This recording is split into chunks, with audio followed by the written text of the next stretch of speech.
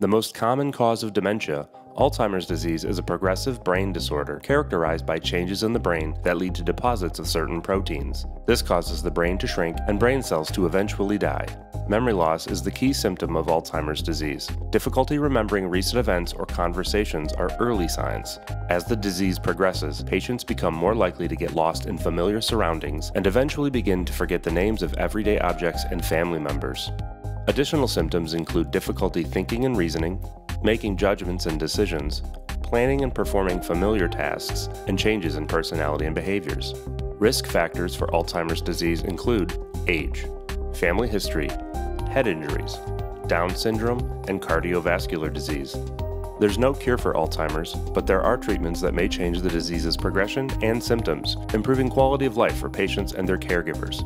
If you or a loved one are experiencing symptoms, consult your doctor.